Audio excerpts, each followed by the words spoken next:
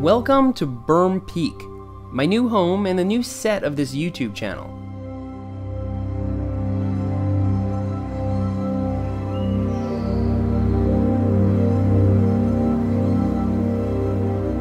To ask if I'm planning on building trails here is like asking Drama if he eats food off the floor.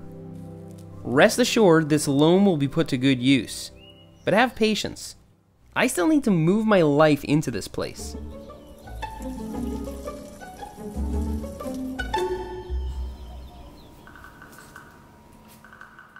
Berm Creek is now for sale, which is hard to believe considering we only spent about two years there.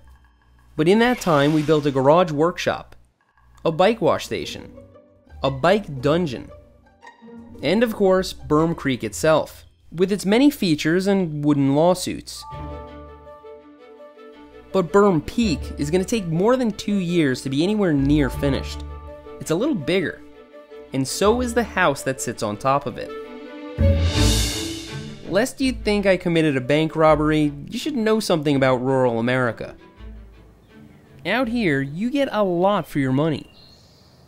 This house and property is equivalent to the cost of a one bedroom apartment in Brooklyn. Should you find yourself choosing between the two, I suspect you'd come to the same conclusion I did. But not so fast. There are trade offs. Out here, you can't get sushi, or Uber, or even pizza delivery for that matter. Trash pickup? That goes in your pickup. And the fact that the prior owners installed a generator hookup foreshadows the frequent power outages I'm likely to have. But I knew damn well what I was signing up for, and those things aren't really important to me.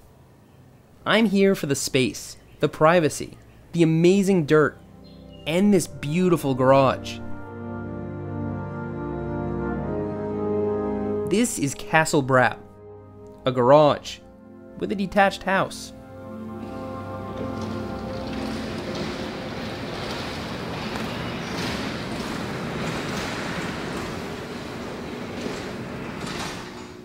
Watching these three doors open is enough to bring tears to my eyes. Going back to my first house, the garage was this outdoor closet, crammed full of bikes and tools. My second house, Berm Creek, had a one car garage, which at the time was more space than I knew what to do with, but I somehow filled it up. Now we've got a three car garage with 14 foot ceilings, and it's more space than I know what to do with.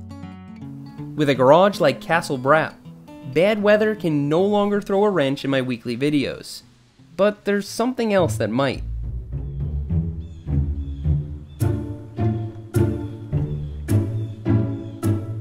This is a HughesNet dish. It's like airplane Wi Fi. Better than nothing.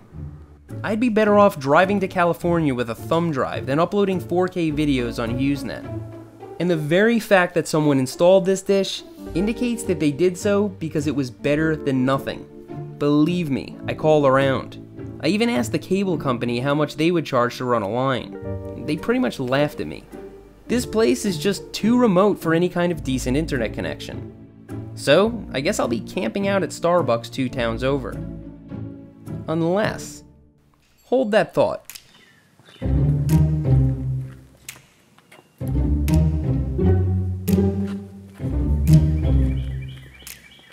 This SIM card is my ticket to the holy grail of rural internet. It'll get me a half terabyte of unthrottled LTE on Verizon, which is the only service that works out here at all. With this cellular router, an external antenna, and a little creativity, I may be able to patch together a workable solution. So I'm mounting all my network hardware in the attic above the living room, and running a wire to the peak of my house to mount the antenna.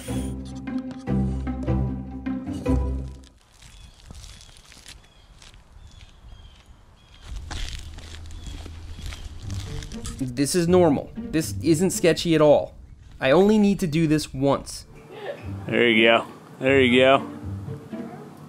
Nice. Dude, hell yeah. Now I gotta just pull that thing through. After like 10 trips to the peak of my roof and a crash course in aiming cellular antennas, I finally got it. And you know what? The speeds are freaking decent. I have a 19 megabit upstream, which is better than the cable connection at my last house. I can't tell you how big of a relief this is, because I kind of bought this house not knowing if this plan would work. Berm Peak is fully operational. So let's take a closer look at what we're all interested in the woods.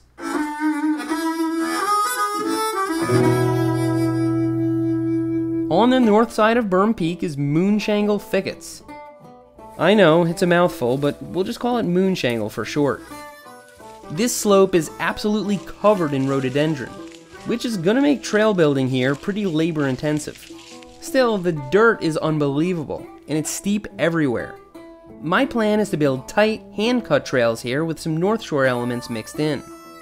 Moonshangle is so vast I still haven't hiked it all, but there's another zone higher up the mountain. Stumpthorn. Stumpthorn is a little flatter and more open than Moonshangle, so it's the perfect place to build jumps and features. Since it's up top close to the garage, it really is the perfect place for all the goofy stuff. Most of Stumpthorn looks like it's been partially cleared, and possibly graded in some areas, so I'm not really concerned with preserving the natural feel like I am in Moonshangle. Since Stumpthorn is higher up than Moonshangle, I should be able to build connector trails between the two zones, and make continuous runs from top to bottom. According to the elevation map, this should give us about 150 feet of vert, and I'm pretty sure that'll give us a downhill run that lasts well over a minute, maybe more. Berm Peak, Castle Brap, Stumpthorn, Moonshangle Thickets. I know it's a lot all at once, but this is going to keep us busy for a good while. I hope you're as excited as I am. And on that note, this is a good time to give you all my sincerest thanks. Without an audience, I'd be in a completely different line of work. Your views, your likes, your comments, your shares, and your criticisms are all what brought us here. I never thought in my wildest dreams that at 34 years old, I'd be doing what I love, while entertaining an audience of a million and a half people. So now, more than ever, I have a burning desire to build wooden lawsuits all over this place.